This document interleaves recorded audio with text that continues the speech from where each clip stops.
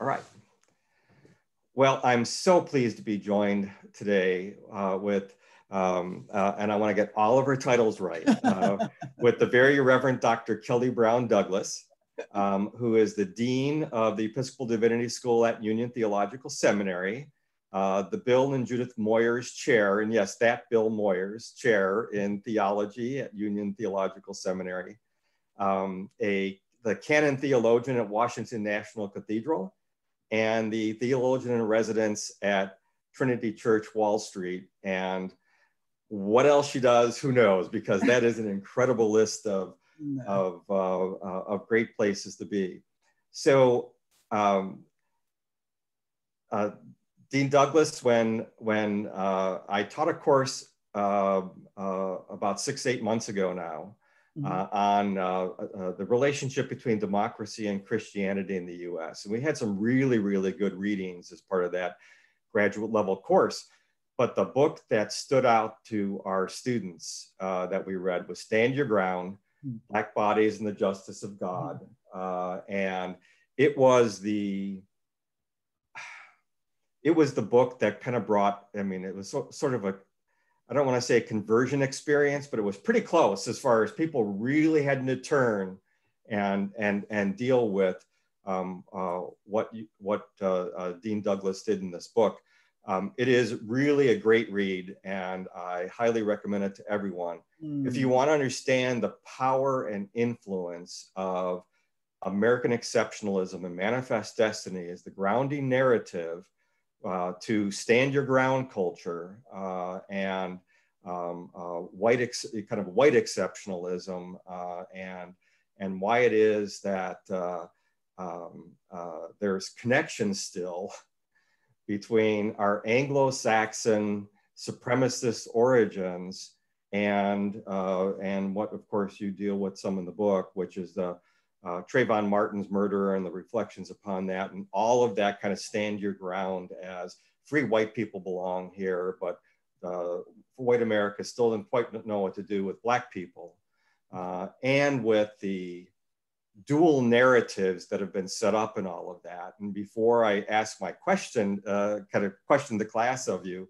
I just want to take a couple of uh, brief paragraphs out of your book um, uh, there's a lot of good historical work in this, and then there's the constructive work, constructive theological work at the end. Um, and where kind of a summary of where a lot of this has gone is when uh, uh, Dean Douglas writes, some 150 years later, our nation is still a nation divided by war. And as we're approaching this election, oh my gosh, yep. all the more so.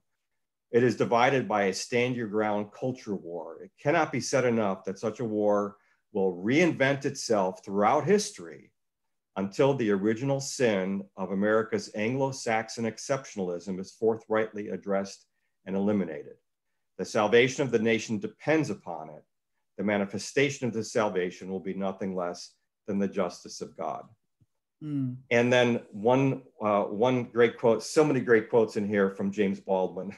Ah, uh, yes. Um, you did I mean really, and and, and I know uh, uh, uh, Eddie Glaude has has you know has a new book out on on Baldwin also, and I am looking very much forward to reading that.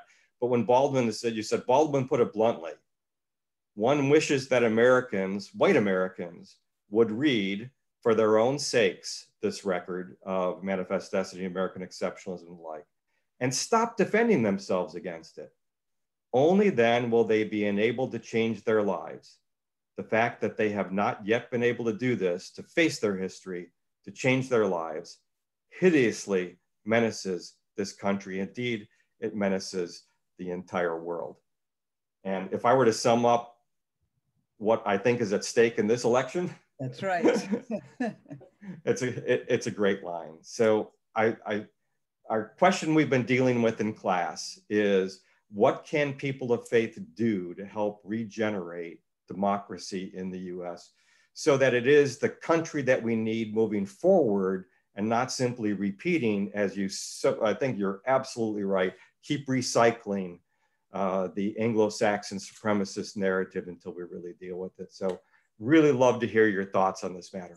Well first of all thank you so much for inviting me to be a part of this conversation thank you for the work that you do and the work that you're doing. And I really mean that with these conversations because that's the beginning. We have to begin to have these conversations. Mm-hmm. And, and, and white America has to begin to have these conversations and to look deeply into what it means, right? To, mm-hmm. to be white in America. James Baldwin also says, you know, he says that uh, you've got to ask white Americans have to ask what's the price of the ticket for being white in America? Right. Uh, to, to begin to ask that question. So I thank you for not only inviting me to be a part of this conversation with you, but for having these conversations. Thanks. When you ask, and it's so, you know, here we are, and we're, of course, we're taping this a week, uh, just shy of a week before this election. And in so many respects, we could just take what's written there and uh, and and it helps us to understand where we are right now yes. in this country and this division. And i'll say something about that in a minute but i think as people of faith here's what we have to understand i think about where we are in our nation. To be sure our nation was grounded in this foundation of white supremacy uh, and when I talk about American and Anglo-Saxon exceptionalism, that's what we're talking about, this white supremacist foundation mm-hmm. that in effect said that uh, people who were raised white uh, were superior uh, to all others and that those people uh, in their superiority had the right to dominate and to rule and to subjugate. And we've developed these systems and structures And our way of life is a way of life that is shaped uh, by this white supremacist narrative on all levels. So, but here's here's the thing that's also uh, paradoxical and mm-hmm. very telling of our nation that even as much as it is steeped in this white supremacist foundation and narrative, it also gave birth to a vision mm-hmm. for a different kind of democracy, if you will, mm-hmm. true democracy, where it said that uh, all people would, uh, in fact, be respected uh, and their inalienable rights of life, liberty, and pursuit of happiness would uh, be respected, and that this would be a nation for justice and freedom of all. They mm-hmm. gave this nation gave birth to that vision, but that vision has always been corrupted and perverted and distorted, right, by mm-hmm. this white supremacist uh, foundation narrative. So the thing is, and, and I call this sort of the warring soul of mm-hmm. our nation. And so consequently, our nation has never been able to live into its democratic vision. That vision is an aspirational vision. We've never been a democracy, it's mm-hmm. aspirational. Mm-hmm. Mm-hmm. The faith community, those who call ourselves people of faith, right? We are accountable to another vision Mm. And that is the vision of God's promise of a just future.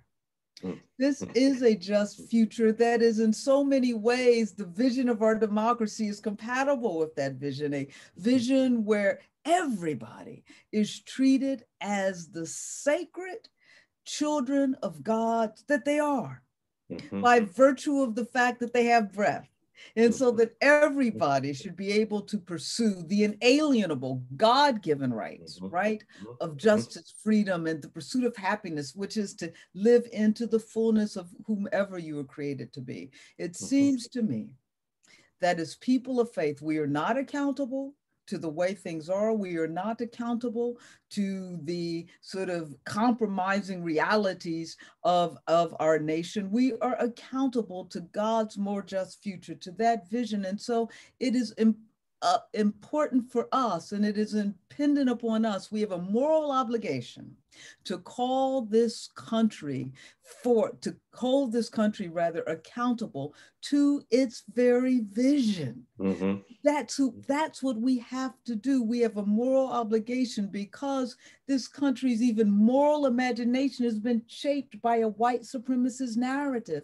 We need to hold the country accountable to its vision to for a more just society and reshape the moral imagination. And so we can do that because we we have to have we have to bring forth a different imagination for justice and that's god's imagination. And how we do that the first thing of course that we have to do is we can't, we can't be invisible right? Right right. visible uh, on the public square. We have to raise our voices. We have to call the country to account to its own vision. Uh, uh, even as we hold ourselves accountable to uh, this this this higher vision. We have to tell the truth. We have to be the truth tellers of who this country is and what this country has become, uh, even as we hold this country to what it uh, uh, has said it wants to be. Mm-hmm. Uh, and so to me, that's that's that's that's the beginning, and it begins in the recognition of the original sin, which is white supremacy, that is that is held. Original sin is about being held captive to a culture of sin. Mm-hmm. We are held captive to this culture of sin that is white supremacy, that is preventing us from being a democracy. Mm. Yeah, I appreciate all of that. Um, uh, one of the things I've started saying is that I think we need to teach his, American history in church.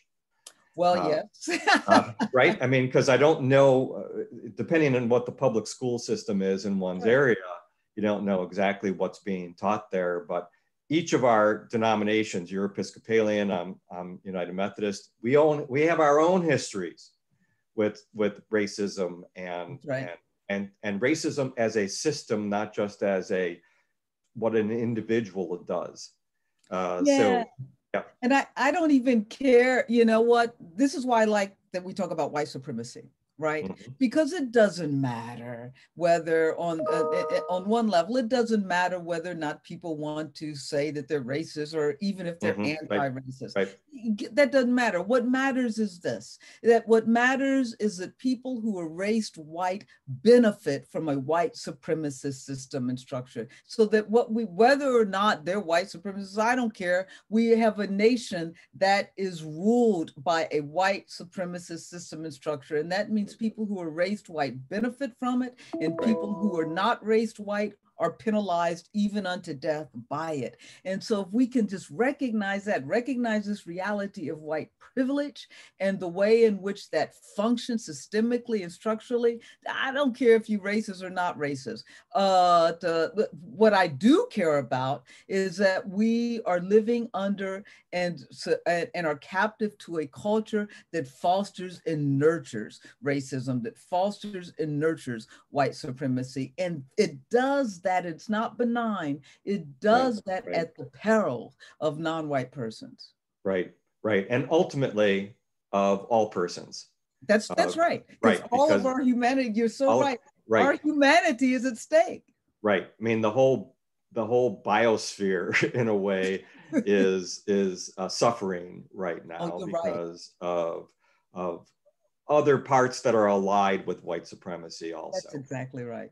Right. Right. So one of the dilemmas we have uh, in a part of the country which is much more dominated by um, conservative evangelical fundamentalist uh, and all uh, uh, forms of, of faith, much more so than around New York City, um, uh, is, is uh, Christians who don't see systems. they don't even have a language that allows for systems. It's all about individual choice uh, and the like. Do you ever run into that in your teaching? Oh my, yes. You know, and that is, you're correct to point out, that's an evangelical narrative that focuses on sort of individual sin uh, as opposed to corporate sin that focuses on sort of saving the soul uh, as opposed to uh, those things that kill the body and you know the body becomes this sort of as you know, I'm telling you that what you know in this narrative the body becomes that thing that sort of corrupts the soul etc and it's that narrative that kind of individual uh, narrative of sort of private pietistic kind of understanding of sin and reality it's that narrative that allows for the kind of uh, christian understanding that indeed legitimated slavery. It's that narrative that gave birth to slaveholding religion. It's that narrative that allows this kind of unjust status quo uh, mm-hmm. to exist. And so you were so right about that. And so, how do we begin to break into that narrative to mm-hmm. begin to help people to realize uh, what we're talking about when we talk about sort of the sin that is white supremacy. You know, one of the things that I, I try to do and say all the time, let's then start with the individual, right? Mm-hmm. And let's not start with sort of this understanding of systemic and structural uh, racism, which is white supremacy.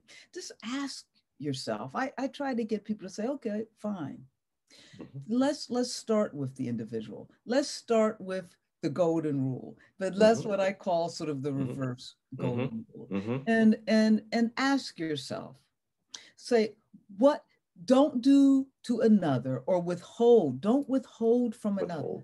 Mm-hmm. That which you would not want withheld from yourself. Wow.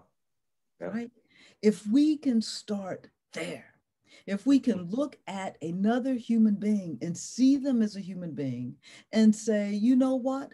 I don't want withheld from them what I would not want withheld from myself. Do. I want health care? Do I want uh, a decent home, a job opportunities, education, an opportunity to live into the fullness of whomever God created me to be? If you want that for yourself, don't mm-hmm. withhold it from another. And so mm-hmm. I, I think if we can begin at that level, because I, I, I declare that one of the things, you know, we with George, the George Floyd video mm-hmm. when uh, that was released we mm. saw again a different kind of protest that erupted in this country and uh, that was a protest of not simply uh, people blessed with ebony grace with black people but this protest that encompassed a diverse group of protesters you know white and and black et cetera and how did that happen you saw people having these sort of uh, conversion experiences, if yeah, you will, yeah, yeah. right? And and and and white Americans saying, "Wow, you know, we, you know, we can't. This isn't who we want to be." I think yet, you know, and and and black people are saying. My own son said to me, "Well, it, my son's 27 years old, and he goes." Why are they just getting it? You know, there was Freddie mm-hmm. Gray, there was Michael mm-hmm. Brown, there was Trayvon, there was Tamir, there was Sandra Bland, and, and, and now all of the sudden. And it seems to me that one of the things that was different about that video, and we've seen all of these videos and no one else has moved, was that George Floyd cried out for his mother. Mm. Mm. Cried out for his mother. Mm. And in fact, I heard a woman, a white woman on CNN say that when she heard him cry for his mama, she couldn't take it. Wow. And because in that moment, he was humanized, he was somebody's son. Mm. Right? If you can look at another person and say, that is somebody's son, that is somebody's daughter. That is somebody's father. That is somebody's mother. When you can do that, when you can see another human being, then you can say, that is a child of God. And when yeah. we can begin yeah. there, then yeah. I think that's the way into helping these people who start in this, this narrative of mm-hmm. individual sin. Well, let's start mm-hmm. there mm-hmm. with the individual and then move out and just say, so you know, how how would you want to be treated? Hmm. And then we can understand how the systems and structures and the way in which this world has shaped doesn't allow for right. somebody else's son or daughter to have what you would want for your son or daughter. Yeah, yeah. It, it has always seemed, well, I could say not always. Um, for uh, all of my adult life, it has seemed that um, equality is definitely the junior partner to freedom oh. uh, uh, here. And because equality, equality involves that kind of uh, mutuality and reciprocity that you're talking about. That's right. Uh, and and I think that we give lip, more lip service to it uh, and uh, to uh, uh, much less than much le- much less attention than it needs to have. And I think for for me, democracy moving forward means we've got to pay attention to equality in some really significant ways. Oh no, I, I I agree, but we can't get there until we all understand that we are all human beings, right? Yes, and right. one of the things that drives the uh, the narrative of uh, white supremacy and a white supremacist culture is that when you see a George Floyd, you don't see a human being. Right. Uh, uh, you see what this narrative has said that Black people are. You see someone that is ready, a monster ready to Yeah. erupt at any Yeah, time, right, and you, you got to kill them. I, I think of Elijah McClain in Denver, uh, the 19 year old, right? And he's mhm. walking home from the store getting tea. Uh, Mm-hmm. isn't this a familiar narrative? Uh, and someone calls because he has a, a hoodie and a mask on or something, and someone calls and says that he looks suspicious, and the thing, the police come. And what makes this very slight 19 year old look suspicious? But what struck me is in his interaction with the police, he said, you know, uh, I, I don't I don't kill flies. I, I I'm just and he Mhm. begins to try to humanize himself. Mhm, mhm. Uh, uh, he said, "I'm just different." He's it, it, uh, and so you know, trying to get them to see that I am not some black monster that's about ready to erupt. You know, I'm just an ordinary. He said, "I'm different." He said, "I don't kill flies. I don't even kill flies." Trying to get them to see uh, Mm. that he another human being, that he's somebody else's son or daughter, and of course they couldn't see that, and and of course he's now dead, and so that that to me if we can when we talk about equality we have to first begin to see that we are all equal children of god Right. And if we in the faith community can't get that message across, it Right. really is time to close up our doors. that's exa- that's that's right and that's where and, and to me that's the beginning of of of the conversation what has prevented us from seeing those who are different from us uh, from seeing that they're just like us Yeah. Right. what what right. that's where we have to begin and what in our churches can we do to make that possible and i think that's where i think the iconography in our churches the stories that we tell in Mhm. our churches Mhm. you're so right the history uh, that we must share uh, in our churches you know if we want to help people to see that we all are a reflection of god then we have to have images of people in our churches that reveal that. We can't have all these white jesuses in our churches and all of these uh, this white iconography uh, can't have it because then we what we're we're doing is we are fostering and nurturing a narrative that says that the black body isn't a sacred body that the black body is is uh, is a body that signals evil. These songs that we sing in our churches fair fair lord jesus please need to throw that out uh uh you know we really have to what are the ways in our churches that we are even unwittingly Mhm. promoting this white supremacist narrative Yeah, that suggests that the black body is something other than a sacred body Yeah. yeah. And with that, I'm going to say thank you very much uh, because I know your time is, is, is about up. Uh, Dr. Kelly Brown Douglas, a wonderful book. Thank you for the conversation. I really appreciate it. And blessings to all the good things that you're doing and all the places you're doing it. well vice versa thank you for having me Yeah. thank you